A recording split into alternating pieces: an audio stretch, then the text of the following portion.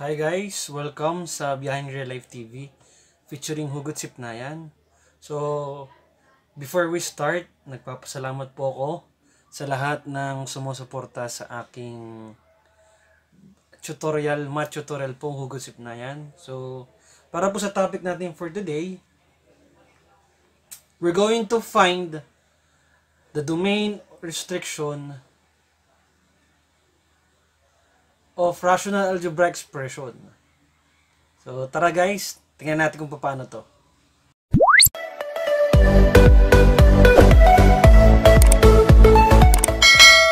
Now, let's try to define rational algebra expression. Any algebra expression in the quotient of two algebraic expression are called rational algebra expression. In short, when we're trying to deal with rational algebra expression, there are just quotient of two polynomial. If two polynomial p and q are in the quotient form, q will never be equal to 0.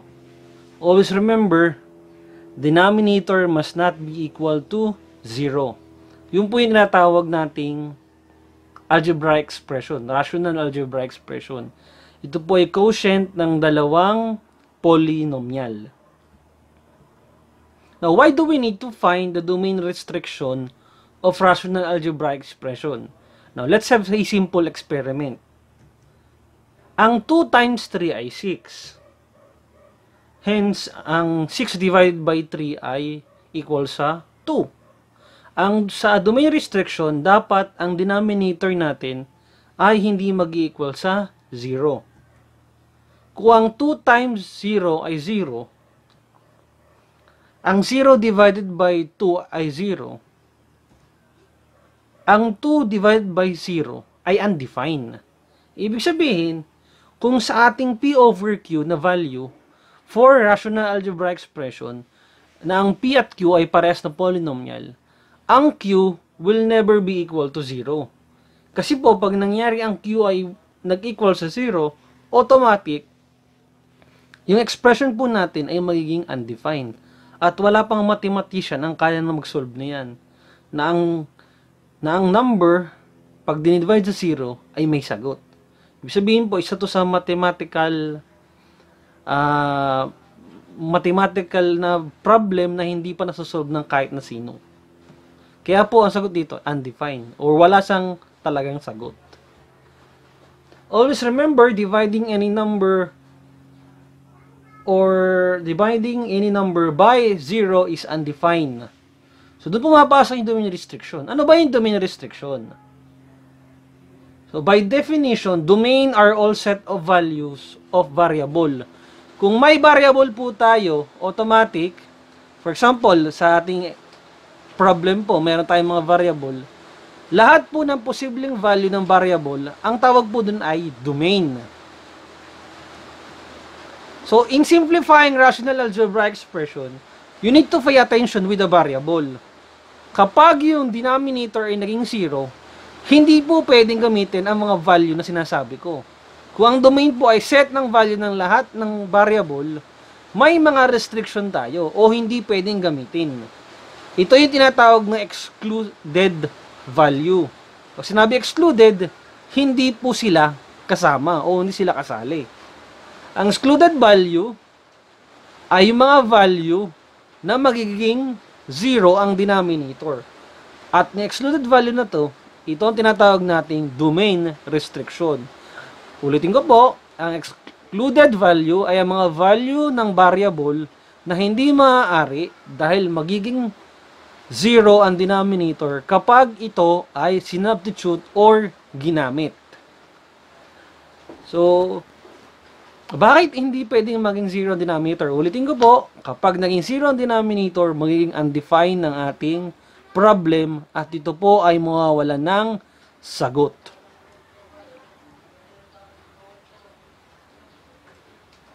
Now, how do we find the domain?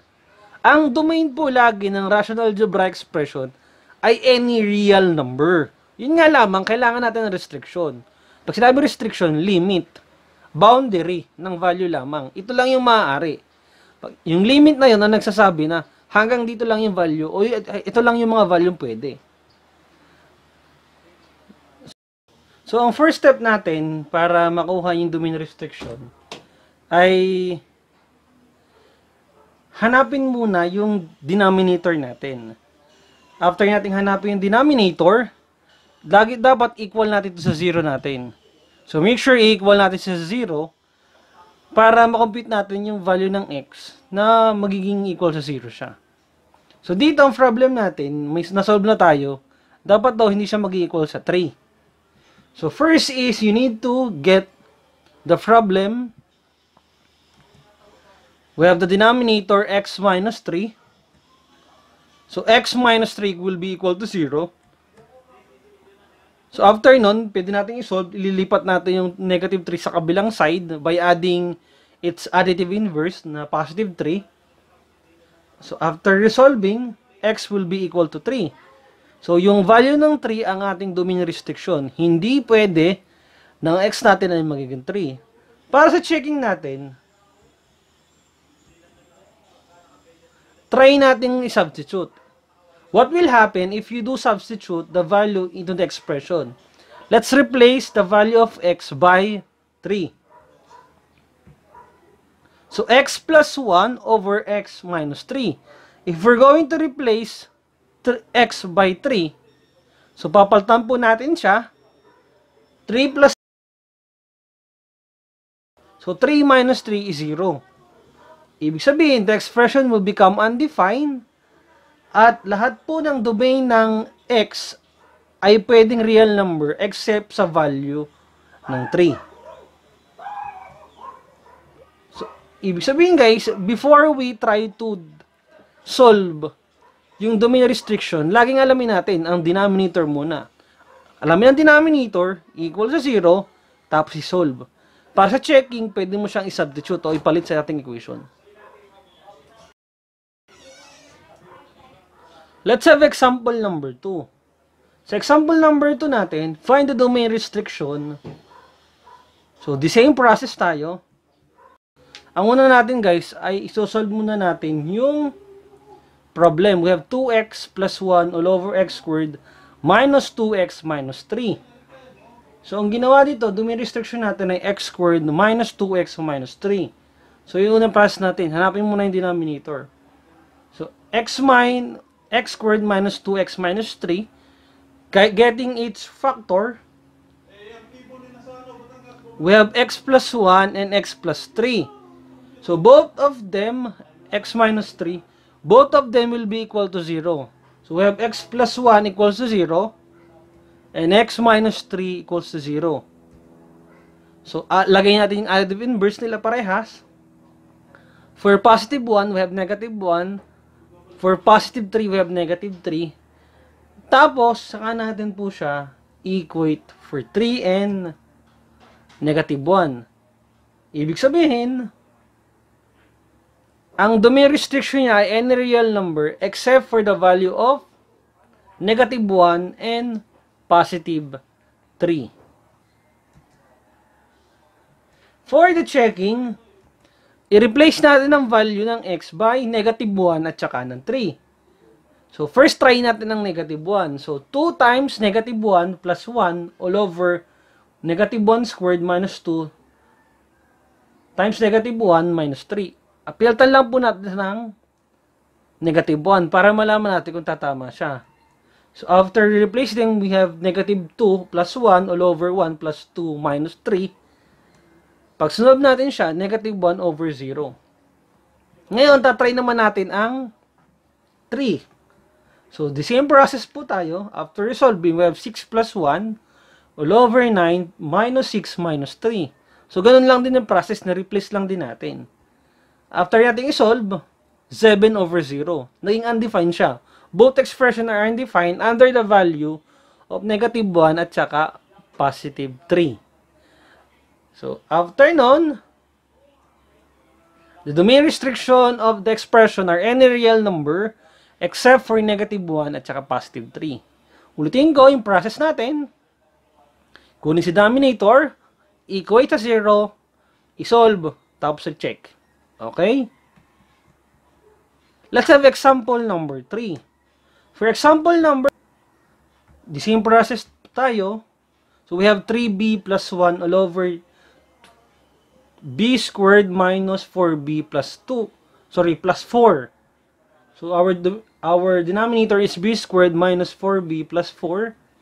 So yun po yung ating denominator. So we factor them out. We have x minus b minus 2, b minus 2. Sanin na sa x. So b minus 2, b minus 2. Since isa naman siya, pwede natin isa lang ang kunin natin, will be equal to 0. Equating them to 0, we need the additive inverse of negative 2. So, meron po tayong positive 2. Lagay po natin sa both side. So, b will become 2. And the domain restriction of the expression is any real number except for the value of 2. Pag ginamit natin siya sa ating problem, so, Ah, wala na nakalimutan na yung checking. So b squared is 4 minus 4 times 2. Ito po ay uh, ito po ay 8, negative 8. So 4 plus 4 will become 0. 4 plus 4 is 8. 8 minus 8 is 0. So same process po tayo. Na-check lamang siya. So do, let us do not forget the process.